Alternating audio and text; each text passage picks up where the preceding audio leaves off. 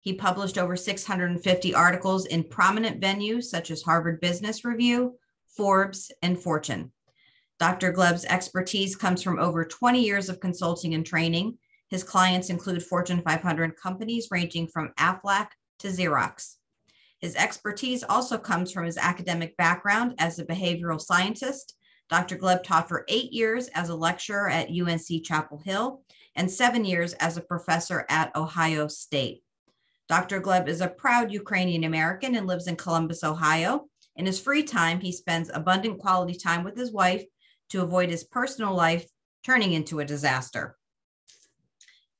To help you take advantage of his groundbreaking, groundbreaking expertise, we've asked him to share with us about no shame, no guilt, how HR professionals can address discomfort with diversity and inclusion using behavioral science. Now, please give a big round of virtual applause to welcome Dr. Gleb. Thank you for joining us. Thank you so much for the kind introduction, Chrissy. All right, everyone. So let's talk about no shame, no guilt, how you can address discomfort with diversity inclusion using actually science-based methods. So that's what we're going to focus on today. Now, the shape of this presentation, just so you can anticipate it, will be, first of all, about some of the errors that people make when they think about and make decisions around other people. So from perspective of diversity, inclusion, and conscious bias, the challenges that occur is because people make bad decisions around other people, especially when tribalism is involved, when diversity inclusion issues are involved. So I'll talk about the specific mistakes that people tend to make. And then we'll transition from that to identifying and solving these mistakes. So that's going to be the shape of the presentation. That's what you can expect. Without further ado, let's launch into it. Now, I'd like to talk first of all about something different than the workplace diversity inclusion, more judgment and decision making in general. Now, let's think about driving. Hopefully, that's something that many of us do nearly every day.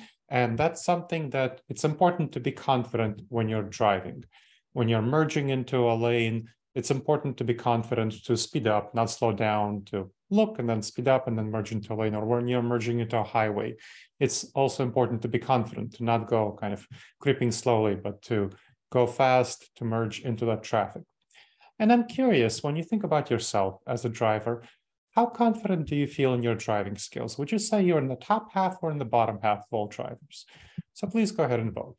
You'll see a poll right now and please go ahead and vote in that poll, whether you're in the top half or bottom half of all drivers.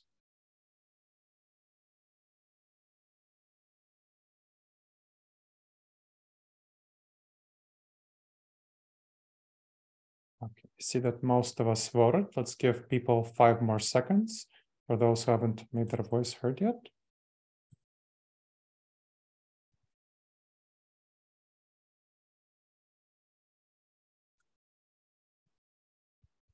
Now, isn't that nice to see that all of us are in the top half of drivers, right? None of us are in the bottom half. Now, that's great for an aspirational world, but we can imagine and realize when we think about it that that's not realistic. Realistically speaking, half of us should be in the top half and half of us should be in the bottom half. But that's not how we think. That's not how we evaluate reality. And so this speaks to our decision making and judgments in general in terms of being an above average driver. In a mistake that people tend to make, we all tend to make, called the overconfidence bias. The overconfidence bias. We tend to be overly confident, excess, excessively confident about our decision making. So this is a problem. As we can see with you know the 100% of us being in the top half, that happens in all sorts of situations, not simply in people decisions, which is what diversity inclusion is about, but other decisions. When people say they're 100% confident, they're only right 80% of the time on average. So when you look at research on this topic, and this is especially a problem for people who are more experienced, for those with more authority. So if you've been, if you are in managerial positions in HR, that would, and you're more experienced, that comes with a certain degree of danger. There was a study done, for example, on doctors, and it found it gave doctors who were experienced, so 10 years plus out of medical school, and then new doctors the, who were just out of medical school, a medical case to diagnose and treat. and as sample case. And the, they got the diagnosis and treatment right at about the same rate. So recommending diagnosis and treatment about the same rate. But the senior doctors were much more confident about their decisions and therefore less likely to order additional tests to evaluate whether they were right or not. Now, why is that? Well, senior doctors, of course, got the treatment right because of know how and experience, but the junior doctors had fresher knowledge and experience from medical school. So that's why they got the, the answer corrected about the same rate. And this is really important for us to remember, especially those with more experience and expertise, that the more experience and expertise tends to breed overconfidence. The overconfidence bias is something to really watch out for. And so we need to remember when I talk about overconfidence, it comes from an emotional place. We saw that all of us are in the top half, right? It feels not very pleasant to think of ourselves more realistically and place ourselves in the bottom half, for, which half of us should have done. so we vastly underestimate the role of emotions in our decision making. And that happens all the time, obviously, in employment settings and leadership settings. That is a serious, serious issue. Because when you look at studies, they show that most of our decision making comes from emotions. 80 to 90% of our decision making is emotional. We just go ahead and make our decisions the way it feels to us like we should make our decisions without using evidence based decision making strategies. So that's a real challenge. That's a serious issue we need to deal with. And that's why it's quite dangerous to go with your gut, to trust our intuitions, to go with our heart, all of those sorts of things that gurus tell us to do. People like Tony Robbins telling us to be primal, be savage, or Malcolm Gladwell telling us to blink, make your decision in the blink of an eye. It feels comfortable, it feels good, but it often leads to disastrous decisions especially when you make decisions around other people, because our gut is about for the ancient savannah, not the modern world. And so this is the, the crux of the problem, the root of the problem. We are tribal creatures. We've been evolved to be tribal. I mean, think about how we're interacting right now—a small squares on a Zoom screen, right? That's not what we're wired to do. We are not, we have not yet time to evolve for the for it. It's only been available in the last decade. We are intuitively tribal. We are like to be with people who are in a small tribe of 50 people to 150 people. And in an ancient savanna environment for which we're adapted for, it was really important to be loyal to your own tribal members because if you weren't sufficiently loyal, well, the tribal members would kick you out and you'd die. That was a very precarious existence. And you had to be hostile to other tribal members because if you weren't sufficiently hostile, the tribe would take you over and you die as well. So we are the descendants of those who didn't die. And that's really important to understand that our intuitions are built around tribalism. And that's what we're evolved for. Another dynamic is this fight or flight response to threats, which was great and very important for hunter-gatherers because the risks they faced were immediate, intense in the moment, like saber tooth tigers. You might have heard of this as the saber tooth tiger response. But it's a very dangerous response in today's world because the risks we face are much more long-term, uncertain. They might be risks around the kind of people we hire and the relationships we build with them. They might be risks around hearing about a pandemic starting up in the middle of nowhere, China, right?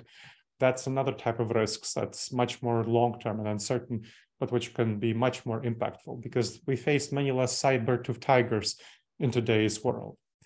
And all of that breeds a series of dangerous judgment errors called cognitive biases that come from our evolutionary background and how our brains are wired. So these cognitive biases are what we really want to address. They are, we want to learn about these dangerous judgment errors and try to figure out when they might be impacting us, like this overconfidence bias. When might we, as when might you, as HR professionals, feel overconfident when you're trying to make a decision around somebody else? So that's a big, serious issue to think about. Now, I want you to think about a poll. We're going to have another poll. Recall back to a time when you made a bad decision. Real, think about it. Think about all the times you made bad decisions was there at least one time when you actually had the information you needed to make a better decision, but you didn't use that information? So please go ahead and vote whether that ever happened to you.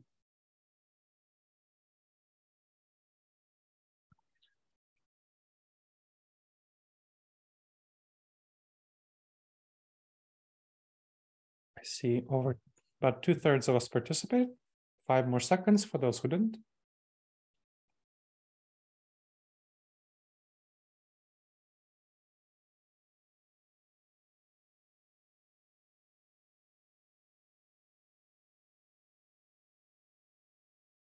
Okay, so for the large majority of us, not all of us, that's something that happened. And I know certainly it happened to me. And that feeling when you have the information you need to make a better decision, but you make a bad decision, that really the large likely explanation is that it's a cognitive bias because if we were thinking rationally and using the information we had to if we had the information we should be making the best decision. But then if you look back and say oh i really had the information i should have made a better decision that's likely cognitive bias. And the overconfidence bias is just one out of a number of cognitive biases and so I titled this talk, No Guilt, No Shame, how to make people more comfortable with addressing diversity inclusion. And this is the key to making people more comfortable with addressing diversity issues, inclusion issues, is to show that all of us suffer to some extent from cognitive biases. Like I started with the overconfidence bias, right?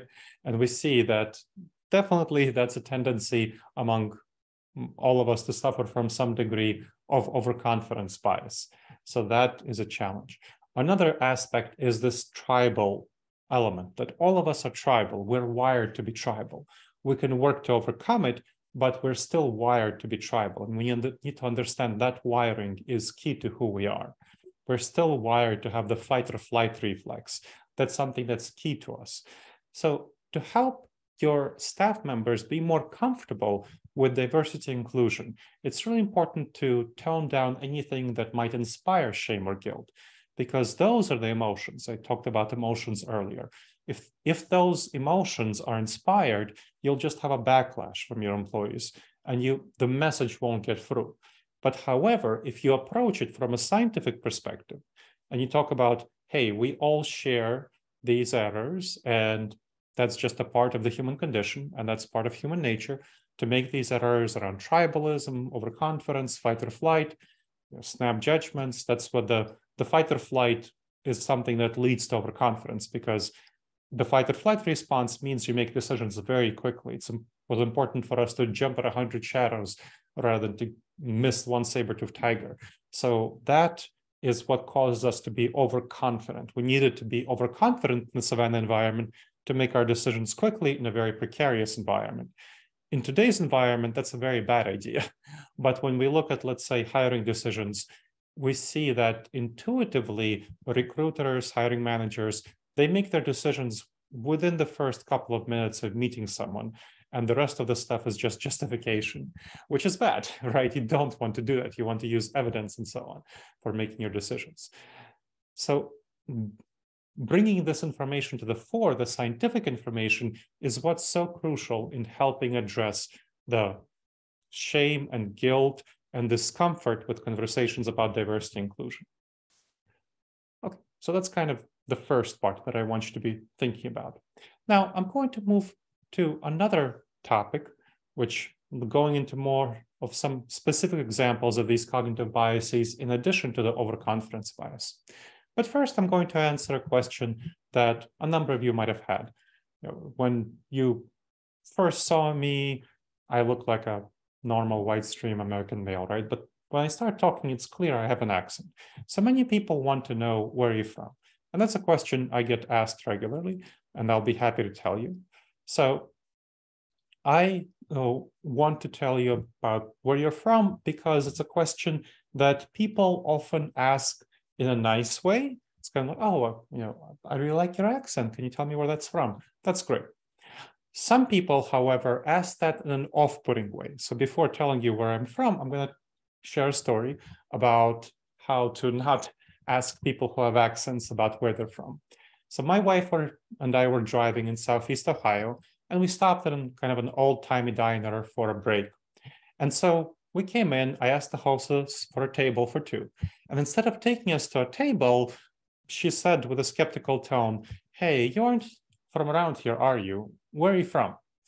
Oh, that was not great. It was pretty off putting for me, as you can imagine. So I didn't want to tell her where I'm from. I said, I'm from Columbus, Ohio, which is where I live right now. Uh, she didn't get the hint. She said, Well, where were you from before that?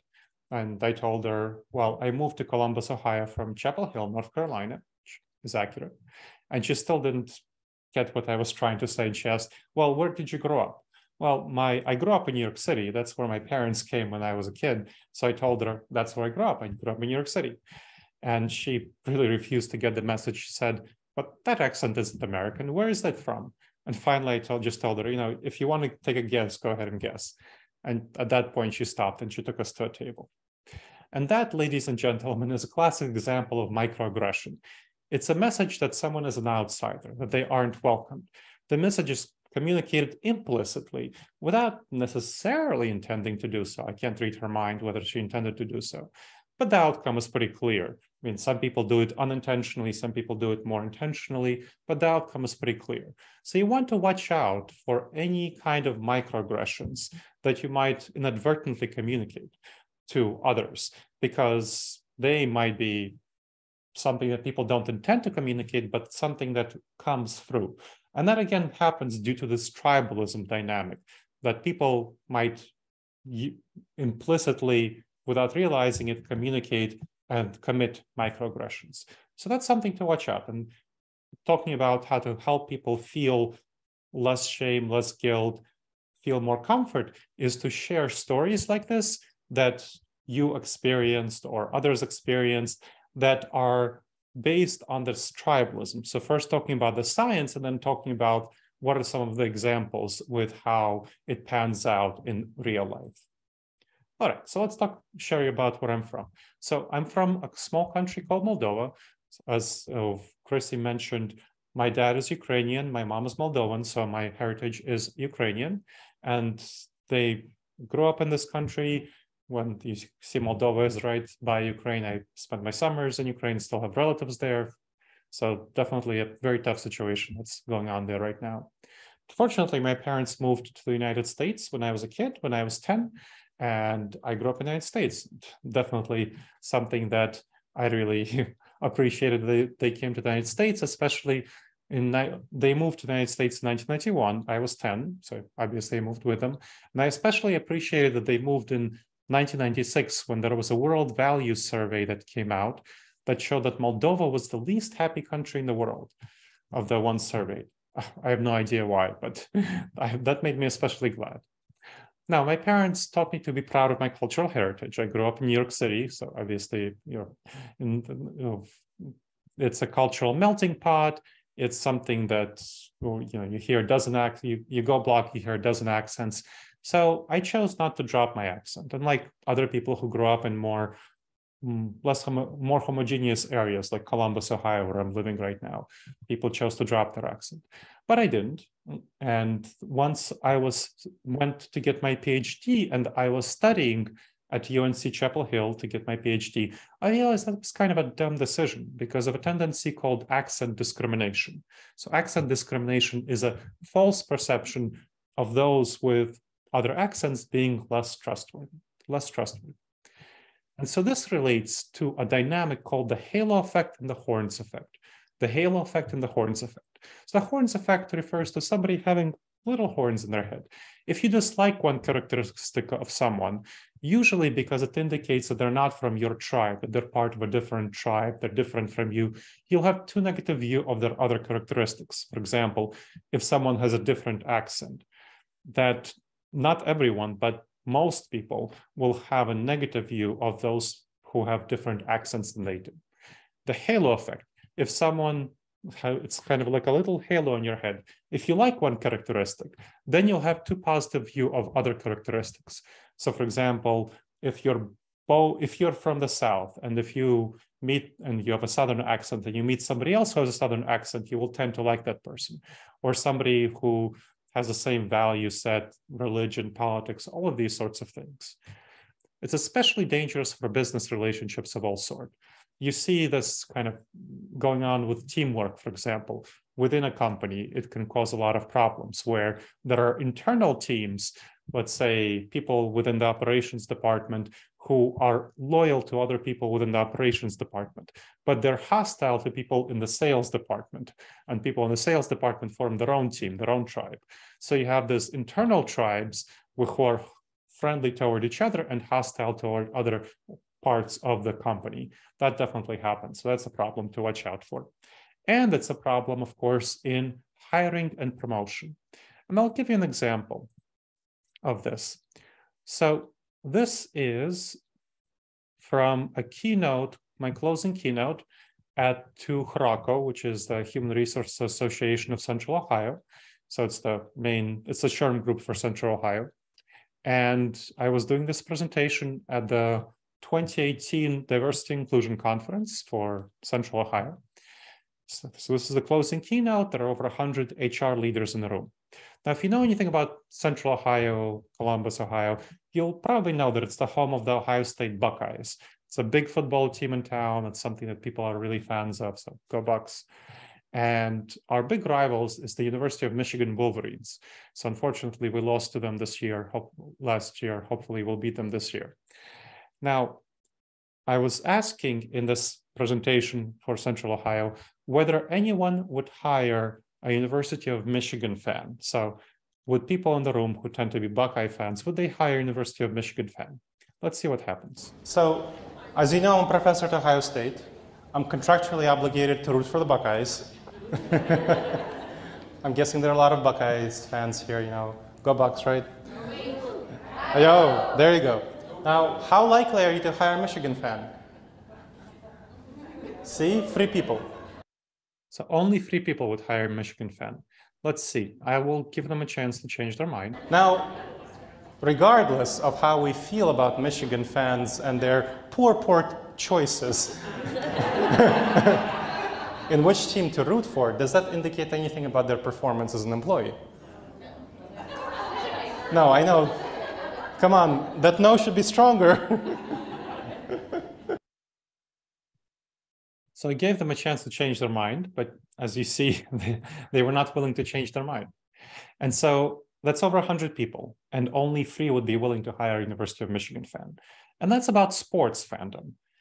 So it's a kind of a pretty something that's obviously insignificant for your work, but think about all the other things where people where it's much much more significant for your work and people still make these pretty bad decisions where if you're making such a decision about something as insignificant as football fandom think about things like religion ethnicity race politics all of these sorts of things ability disability.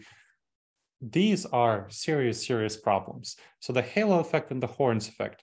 I want to check whether you think it would be valuable to address the halo effect and the horns effect in your organization. So please go ahead and vote whether you think that that would be valuable to address based on what you know now.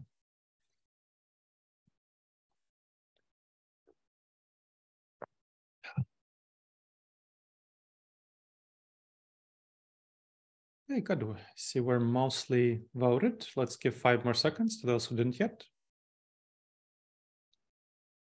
Oh, perfect, all of us.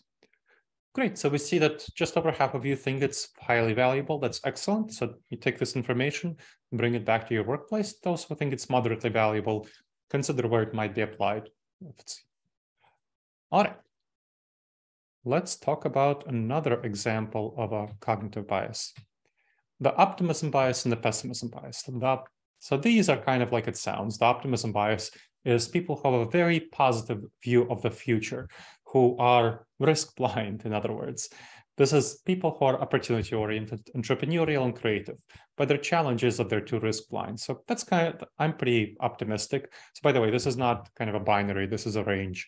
So you can be moderately optimistic, moderately pessimistic, strongly optimistic, strongly pessimistic, extremely optimistic, extremely pessimistic. I tend to be strongly optimistic which means that I tend to see the grass as green on the other side of the hill. I tend to see the glass as half full, that I tend to see the world as full of opportunities, but I tend to miss and ignore threats.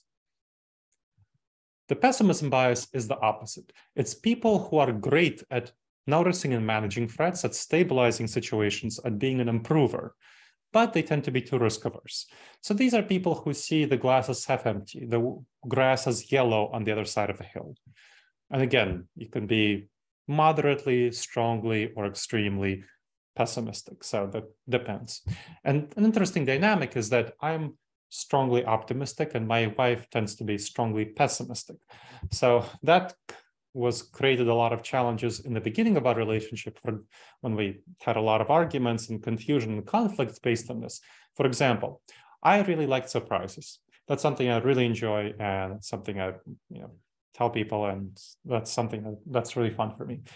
And my wife tends to be anxious about surprises. And so when I surprised her early in our relationship, that caused her a lot of anxiety.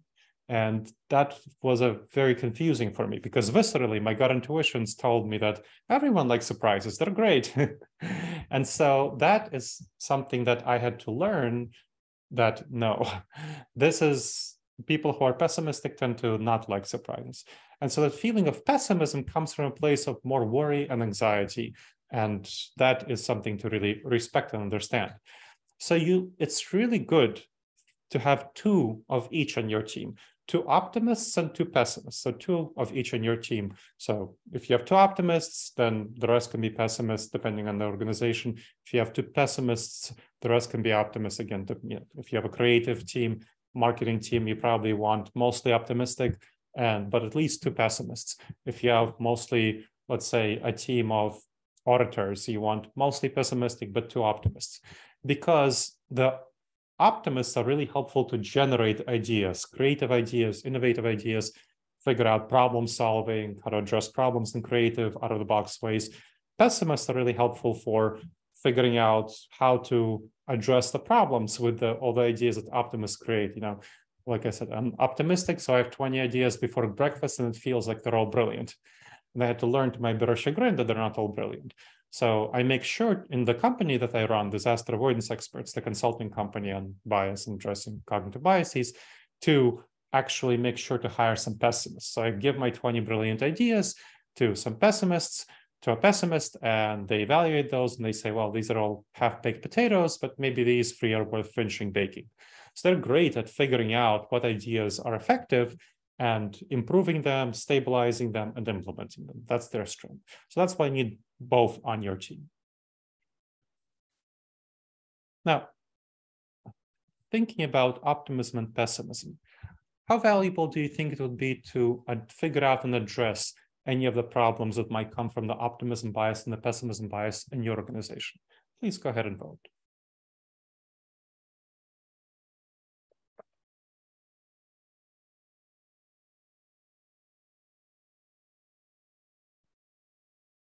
Got nine tenths of the people participating, five more seconds.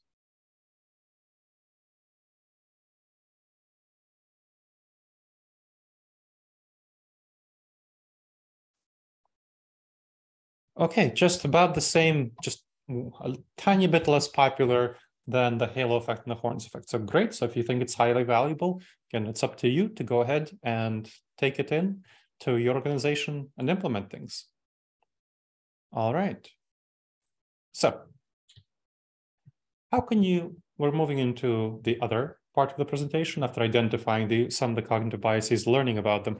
And again, this is all when you talk to people about how to address shame and guilt and to address discomfort, talking about these cognitive biases, how we all suffer from them to some extent or other, and how just the science shows that that's something that we're born with, you know, looking at the evolutionary psychology so and the cognitive neuroscience and making sure that people understand that it's just something that's an inherent part of our brain. The thing is we can address them so we can take steps to address them. We can't change intuitively how we feel those feelings. What we can change is our behavior. So we can notice that those feelings are there but we can choose not to trust our gut to not follow our intuition, to not go with our heart, whatever other phraseology you would choose, to not be overconfident, to not fall into the halo effect or the horns effect, to not simply, if we're optimists, to say that pessimists are bad, or we're pessimists to say that, you know, for optimists to say that pessimists are just, you know, Mr. No, and if we're pessimists to say that optimists just shoot from the hip. No, we need both of each type of people. Those are both strengths, and we need to figure out how to play to each person's strength. So figuring out how to overcome the dangerous judgment errors is the key for you as HR professionals. So you need to go against your own intuitions and you need to teach people to go against their intuitions. Our intuitions were great for helping humans survive. In that early savanna environment, it was very important to be tribal. It was very important to have the fight or flight reflex. But that's not great in today's world. We have many, many less survival situations. We need, it's much, much better for us to take more time and examine the situation before making a decision. We also are living in a complex, multipolar global world where tribalism is not really going to cause to help us make good decisions. And I'll give you some other examples where people already made, figured out how to address some problems that come from our gut intuitions. A big one is food. So let's say, think about you go to the workplace, if you're working in the office and a grateful vendor sent over a box of donuts. It's very tempting. You know, you go back that box of donuts and it's very tempting to take half a donut. And then you're kind of turned on and you take the other half of the donut. And then if you're really tempted, you take another donut and a third donut. And before you know it, half the box is gone. Not that it ever happened to me. Now, that having donuts, why do we get turned on? Well, because in the savanna environment, it was very important for us to have as much sugar as possible when we came across a source of sugar, like honey, bananas, apples, all of those sorts of things. So it's very important for us to have that sugar. In the modern world, that's a very big problem. Companies exploit that to cause us to eat a lot of processed food, right? Like donuts. That's not a good idea. Instead, it's much better to come up with alternative techniques. For example, going, passing by those donuts that somebody sent over and going by a bowl and going and taking a peach or an apple from a bowl of fruit that another grateful vendor sent over who actually cares about their health. So you've probably developed some techniques to address these problems when the challenges associated with modern processed foods in your own health whether that's, let's say, going exercising, diet, whatever you're doing. So you figured out how to address those gut impulses around processed food, at least to some extent. Not everybody does. There's a reason this country still has an epidemic of obesity. But there's still, there's many people have figured out how to address these problems. And you need to think about this physical fitness. So you've worked to address your physical fitness. In the same way, we need to work to address our mental fitness. And addressing these cognitive biases is the way we address our mental fitness. So that's the key. That's the approach you want to take in helping people make good decisions and helping them have less shame, less guilt, and less discomfort when talking about the when talking about diversity and inclusion. Okay, let's talk about how to identify these cognitive biases within your organization. And a very good tool is an assessment on dangerous errors in the workplace. It focuses on the 30 most dangerous cognitive biases, evaluates their extent and impact, and provides the steps you need to address them. So let me share with you the assessment.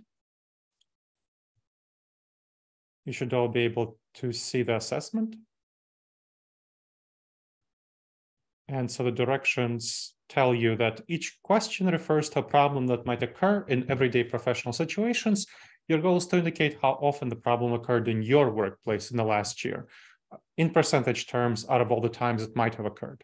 So you can do this, you can limit it to a specific unit, you can limit it to, you can do it for the whole organization, whatever you want to focus on, it's, it's fine. So right now, just think about your specific workplace where you work. You can decide whether you want to make it your business unit, your whole organization, depending on the size of your organization. And we're going to answer some questions. And so you want to open up your chat because we'll be using the chat function. Now, when you give the answer, don't overthink it. Just go with your initial impressions. Each question should take you 10, 15, 20 seconds. Uh, let's see. When a potential or current employee was, was evaluated, in what percentage of the situations was the evaluation too positive due to factors not relevant to their job competency or, over, or organizational fit?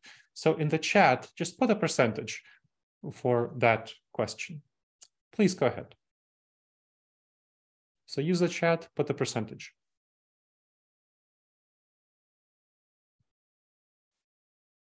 Mm-hmm. 5%, 20% from Carolyn. Please go ahead, others. 10%, 50%, 10%, 10%, 25%, 25%, 20%, 25%. Mm-hmm. Okay, great. So go ahead and share more. Now, if it's something in the 5 to 10% range, it's not a, too much of a problem, kind of it happens. If it begins to get over 10% on this question or other questions, it becomes again, becomes more of a serious issue. And if it become gets over 20%, of course, it's a becomes a really serious issue because then you are systematically, the organization is systematically making mistakes on evaluation. And this question has to do with the halo effect. So you can see that you don't have to know what the halo effect is to take this assessment. Let's do another one, number four. So let's talk about focusing on people decisions. Of all situations when someone had evidence that would contradict their beliefs around a person, so we're talking about diversity, inclusion, people decisions, or clear information that would disprove their interpretation of the situation, in what percentage of the cases did they ignore the evidence or misinterpret the information? Please go ahead and vote. 15%? 25%, 10%, 5%, 25%, 5%, 10%, 33%, 10%, 20, 30%. So yeah, so same idea where you definitely don't want, if you're noticing that you're getting over 10% on this, this is when you want to focus on this question. So this one has to do with the halo effect.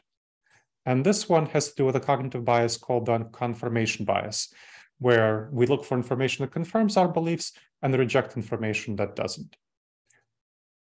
And let's do one more. Of all significant decisions around, again, other people, in what percentage of cases was someone overconfident about their decision? So this, of course, has to do with the overconfidence bias we remember that from the beginning. Please go ahead and vote.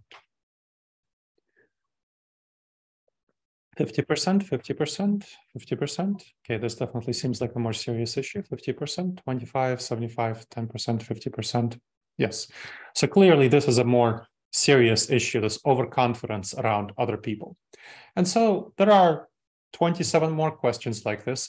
And this is a really great tool to take for yourself, but especially to have your team, after you take it for yourself, check it out, to have your team take uh, your organization. You can just have the HR department take it and hopefully you can bring it as a training tool to your whole organization because it's very helpful to have people start to become aware of these cognitive biases.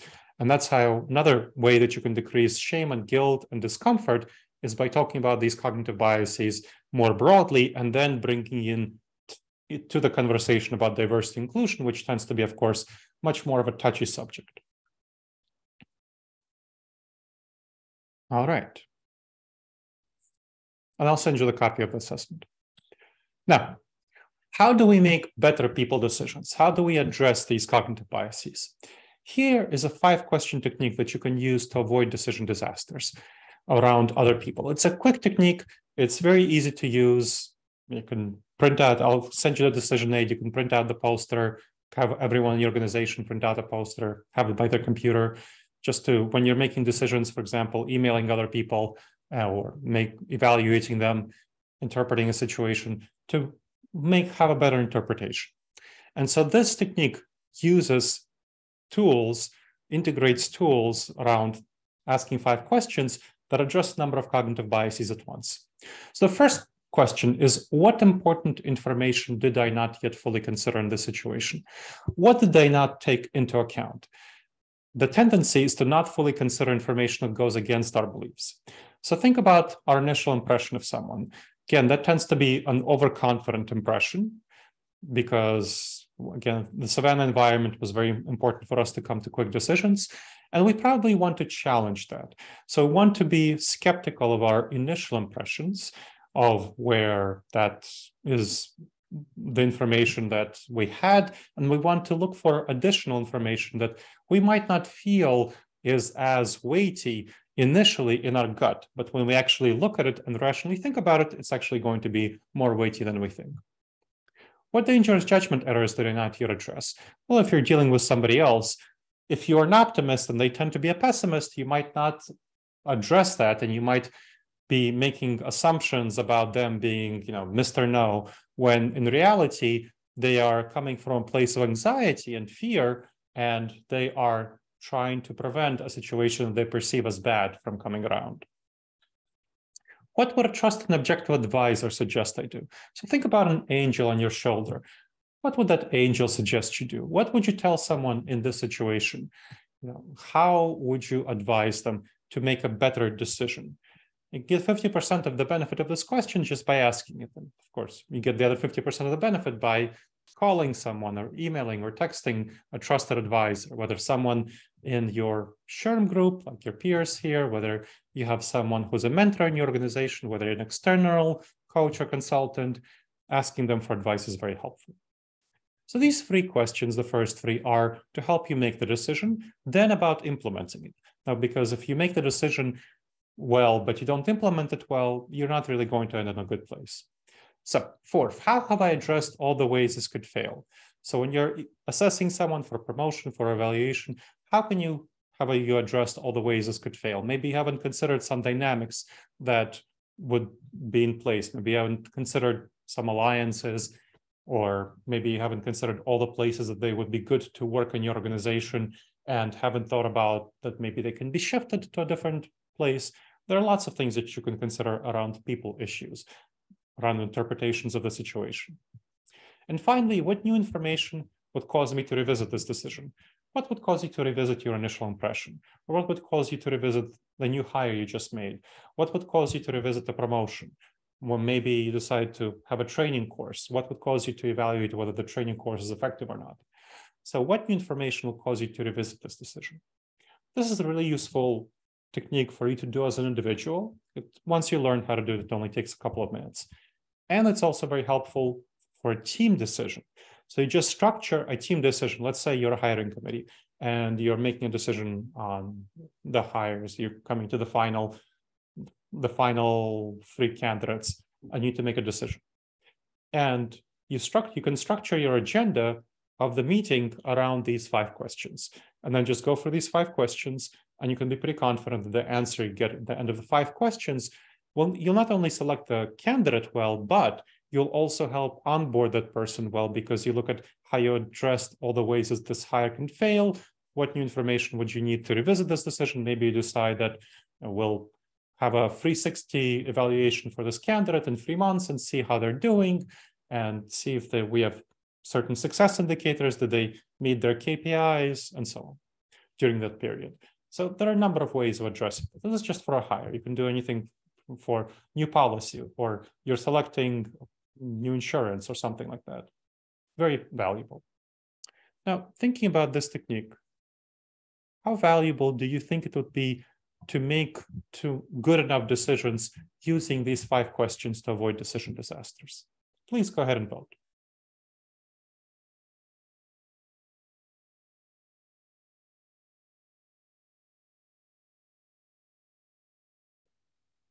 Okay, I see 75% of us participated.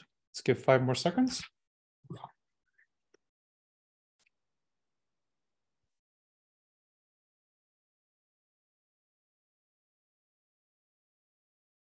Okay, clearly pretty popular technique. Just about two thirds of you find it valuable. That's excellent. I'll send you a decision aid, which you can use to share, use it for yourself and share it with your HR team, with your line managers, and so on. Great.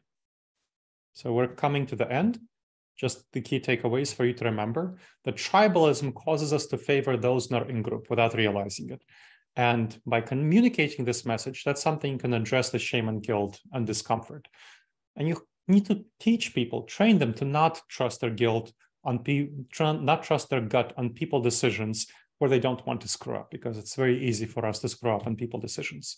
Use the assessment for yourself and for others in your organization to learn about and address cognitive biases and the five questions to make good enough decisions around people quickly and effectively, efficiently and effectively. Now, the free additional resources, you don't need to go to the time. If you're watching this as a recording after the presentation, go to tinyurl.com forward slash DAE event. So if you're watching this as a recording after this presentation, go to tinyurl.com forward slash DAE event. The rest of you will have a poll to opt into the resources. There's a coaching session. I have three slots open, so it's going to be a first come, first serve situation. Copy of my best-selling book, The Blind Spots Between Us, How to Overcome Unconscious Cognitive Bias, Build Better Relationships, then decision aid for the five questions and the assessment. All right. So you'll see a poll. Please go ahead and vote on that. And in the meantime, I'll be happy to take any questions.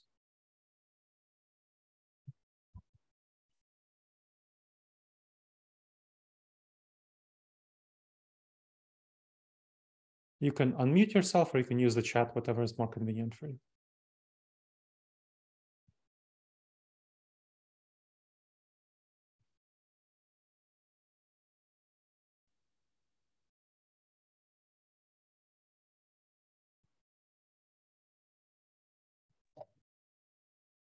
You had a lot of um, good information. I was wondering, and, and sorry, I was I had to meet with somebody right in the middle, but um, so I didn't have your full attention the whole time. But um, maybe you could go over some examples, like um, how you yourself utilize some of these techniques, maybe in particular the sure questions or yeah.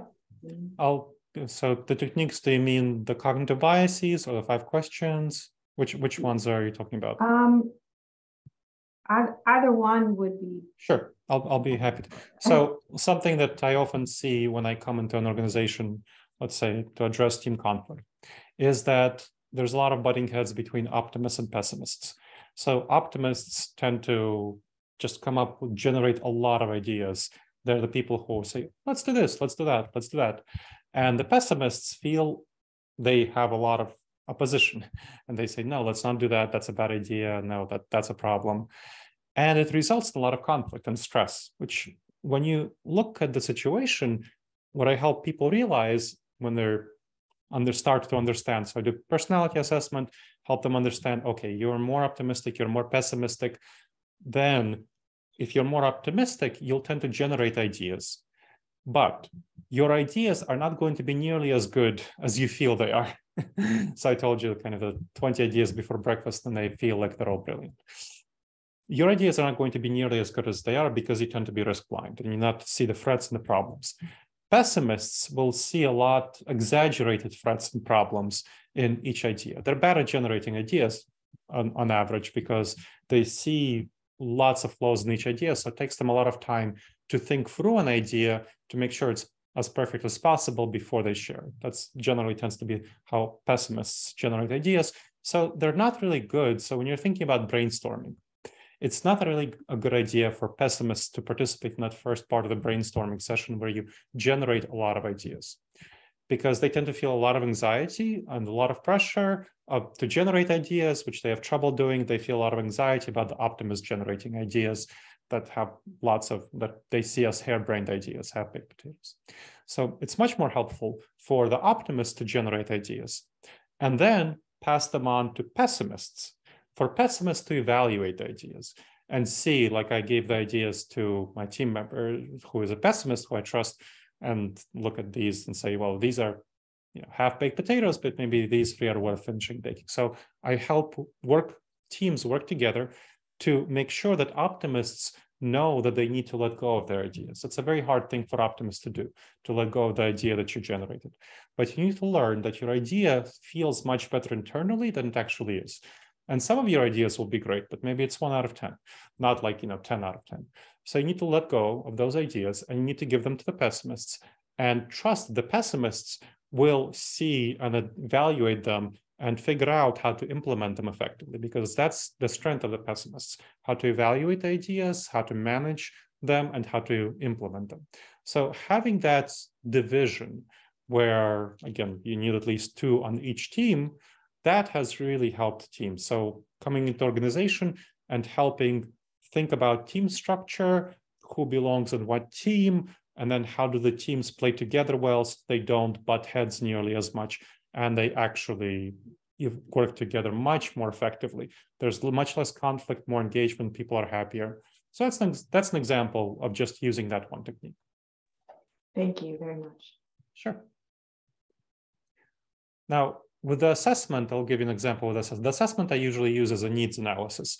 So looking at going into organization, the, one of the first things I would do is I would have all the leaders and managers, people in organizational development, HR, take the assessment and see what they identify as the biggest problem in their organization. And then once we talk about, okay, here are the biggest problems, you know, these three cognitive biases were identified as the biggest ones. Let's see where they manifest in your organization. And so we look at the specific instances where they come up, and then we take steps to address them based on their specific manifestation. So that's another way to use the assessment.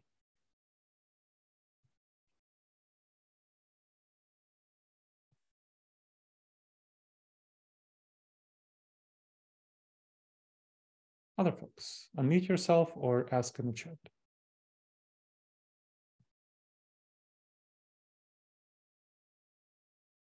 Five more seconds for those who still wish to ask something.